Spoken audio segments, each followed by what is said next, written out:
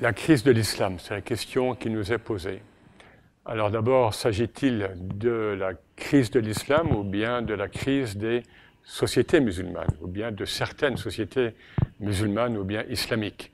Parce que l'islam est tel qu'il est, tel que les autres révélations aussi ont été données, mais après, c'est qu'est-ce que les hommes en font? Et à cet égard, on peut prendre l'image euh, très utilisée par, par les soufis, l'image du miroir. L'islam, c'est un miroir.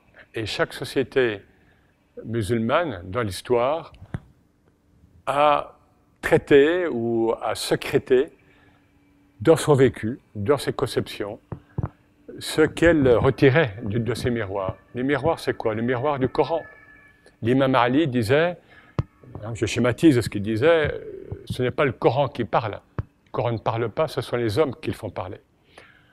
Donc, comment lisons-nous le Coran? Est-ce que nous le lisons euh, sur un plan unidimensionnel, superficiel, ou est-ce que nous saisissons ce que le prophète lui-même nous dit, qu'il y a plusieurs dimensions superposées dans un même verset coranique, dans un même terme? Le prophète, c'est un miroir. Qu'est-ce que faisons de prophète? Quel est son rôle parmi nous, aujourd'hui? Et toute la tradition islamique. C'est un miroir.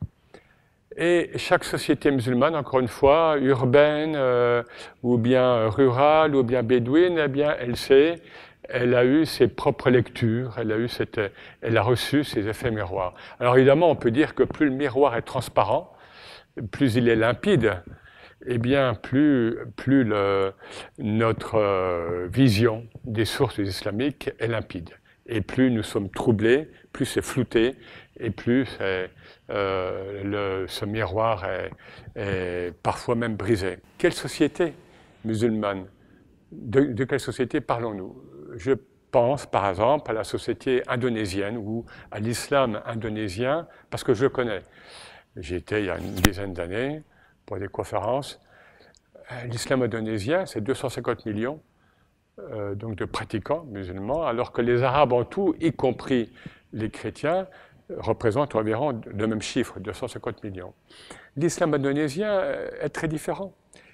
On va dire qu'il est beaucoup plus ouvert euh, au, niveau de ses méthodes psychospirituelles, au niveau de ses outils, au niveau de, de l'utilisation que cet islam fait des substrats anciens substrat hindou et substrat animiste, l'islam indonésien a intégré tout ça. Mais dans l'islam, dans une orthodoxie de l'islam. Et il faut le dire, hein, l'islam arabe, celui que nous connaissons la plupart du temps en, en Europe, n'est pas, enfin, l'islam de teinture arabe n'est pas celui qui se porte le mieux dans le monde.